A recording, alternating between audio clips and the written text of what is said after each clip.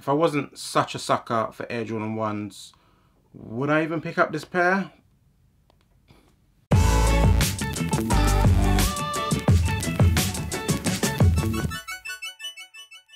What's good guys, Ash Bash back again with another sneaker review and this is for the Air Jordan 1 Crimson Tint.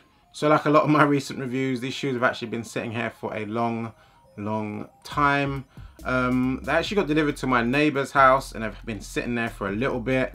They're one of them neighbours that doesn't have a doorbell, so getting hold of them is tricky as it is. They eventually knocked on my door and gave me my pair.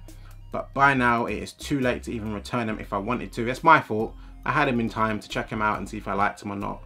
But it is what it is. Uh, we shall see if I keep them or get rid of them. There's no resale on it, so I'm not keeping it to resell or nothing like that. I think you can still get them in stores, but it is what it is. Anywho, let's show you the kit. So these shoes come in your standard black and red Nike box. Uh, on the box itself, it says color-wise black, crimson tint and white. And I got these in a UK 10, my normal size for Jordan 1s. And boom, here is the shoe in its well damn, look at that match. Here's the shoe in its crimson tint and black glory. Um, first of all, I'll tell you what my first thoughts with the shoe is. Before it even came out, I was like, yes, 100% yes, I'm copying the shoe. This is gonna be sick. And then pictures came out of more close-ups and I was like, why is the leather tumbled like that? And then I saw the toe box in person and I was like, why is it so stiff like that? Pause. But yeah, um, my excitement has been very, very low since I actually copped the pair.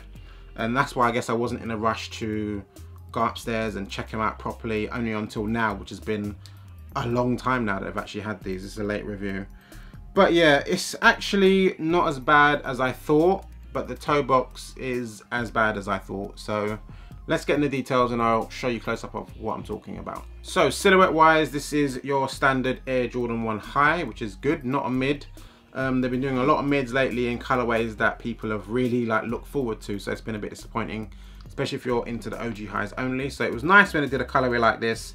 Kind of got those rust pink vibes and like you, I'm sure you're not up for paying like a grand or two grand that the rust pinks are going for at the moment. So this was kind of like your second best option for a pair of these but this leather oh this leather what were they thinking? So the leather the black parts is done in this weird tumbled leather. Kind of reminds me of what you find on the black cement threes but it just doesn't look cool to me. I don't know why they didn't go for what you get on like a normal bread or whatever that soft plain leather. It would have looked so much better and this would have made the shoe like fly off the shelves i think. They wouldn't have none of these sitting because it would just be like yeah this shoe is the one. But they went for this tumbled look. I don't know if someone at Jordan Brand was like, let's just try this, see how it goes. A lot of this shoe looks like it's like, let's just try this and see how it goes. And I don't know, I don't think it went too well. But it's not a bad shoe overall. But yeah, so the toe area here is done in this. It's actually kind of softish to be fair. Black weirdo tumble leather. But the toe box is super duper stiff. Pause once again. Uh, super stiff. And from people that I know that I've got this pair, they said like, your first couple steps and you're going to get a crease mark in it. If you know me, I'm not really someone that cares too much about the whole creasing gait on sneakers, but I don't want it happening like ASAP with the shoe. So see if it happens, but hopefully it doesn't. But it doesn't definitely feel stiff and it feels like the sort of material that will bend and it's a wrap on it looking nice and flat. Uh, the rest of the shoe, this whole um, lateral side is done in that same black tumblish leather. But the swoosh itself is done in this flat level, which I wish the whole shoe was done in. It would have been so much nicer. If they swapped, it around where this bit was the flat, the toe box was tumbled, the swoosh was tumble. I think that's the same thing you get on the Royal ones. That would have been fine. I'd have been happy with that. Like, just that's cool. But the way they've done it, yeah, I'm not excited. But anywho, yeah, so it's got this flat, it's crimson tint um, swoosh. Back of the shoe, it's got more of that crimson tint. It's got the wings logo here in a black glossy look. Along the top part of the shoe here, again, is done in tumble, but it's super duper soft, so can't be mad at that on the ankle collar. Middle side of the shoe, exactly the same again, nothing crazy to see here. Midsole is done in brilliant white, and the most surprising part to me is the sole itself is done in crimson tint.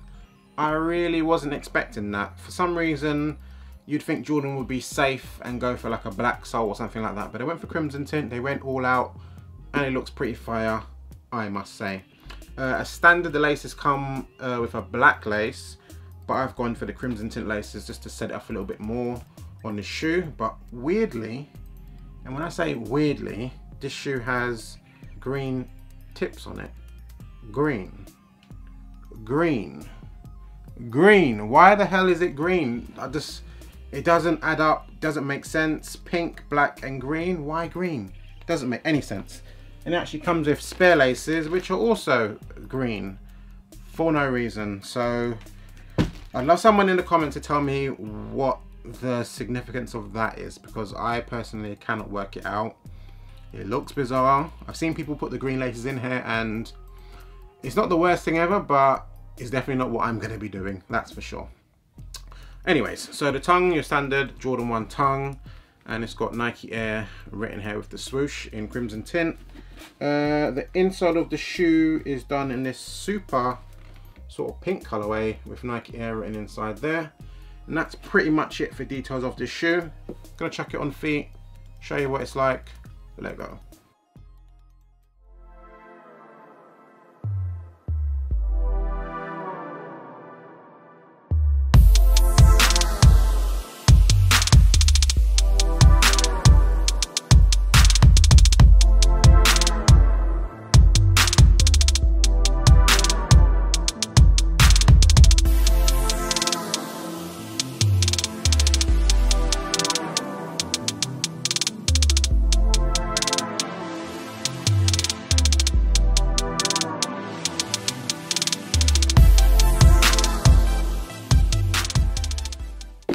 And we're back. That's a quick look at the Crimson tints on feet. Tell me what you think.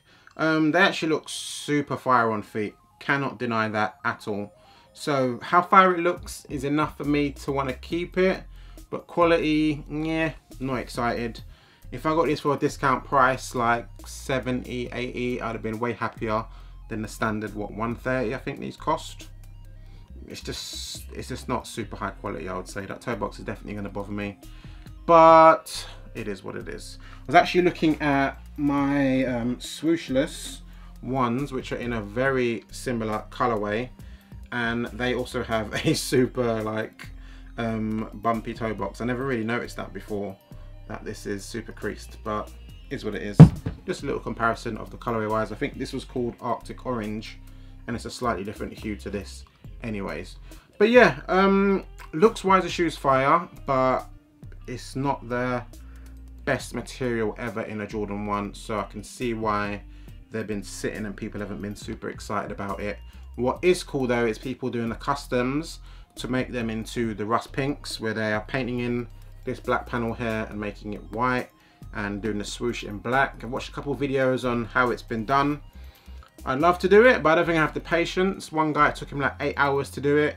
The result, which I will show you now, looks super fire, so I can't deny that. But that's a lot of effort. The amount of coats he had to do and all that, I'd be worried about messing it up as well. So I don't know if I'm going to do it. But if someone wanted to do it for me, I'd probably let them do it. But yeah. So yeah, uh, decent shoe. Probably going to keep it from the looks of it but I'm not super duper excited because of how it's made. So if you're considering it, try and, I don't know, wait and see if there's any discounts coming out. They normally happen for shoes, for Jordan 1s that sit anyway, so you might be lucky and find it in the future. But if you're going in now, be prepared to not be super excited by the quality. But anywho, that's the end of the video. Hopefully you enjoyed. Uh, follow me on Instagram, Ashbash Sneakers, post pictures, pretty much every day and subscribe to the channel. Hit that bell icon so you don't miss out on any of my future uploads. I'm out. There you go